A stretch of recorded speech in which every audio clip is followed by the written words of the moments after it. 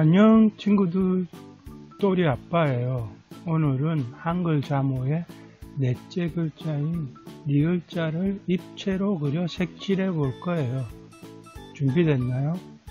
자 그럼 시작해 볼까요? 리을 리을. 친구들도 따라서 말해 보세요. 리을 리을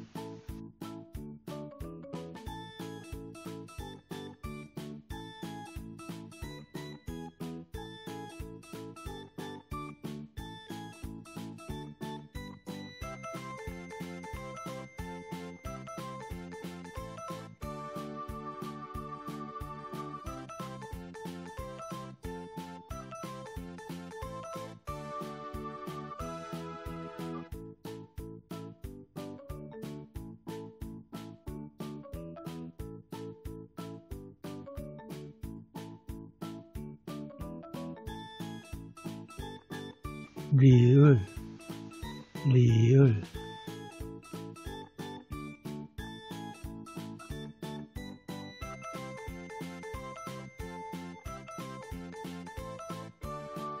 자 이제 리을이라는 글자를 입체적으로 그려볼까요?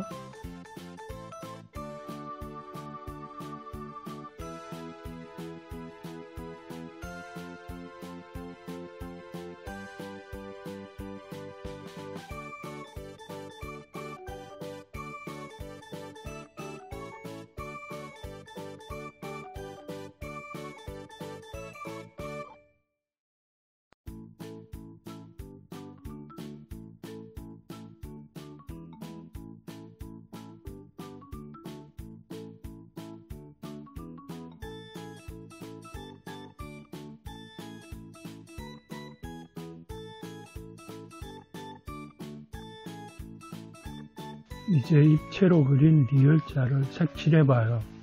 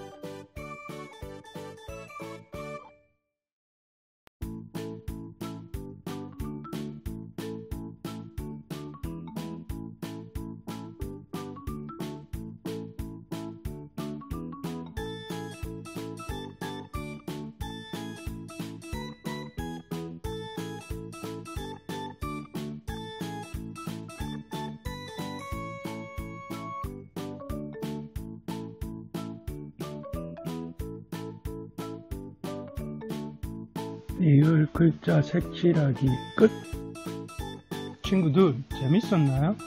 그럼 오늘도 건강하게 하루 잘 보내고 다음에 또 만나요. 안녕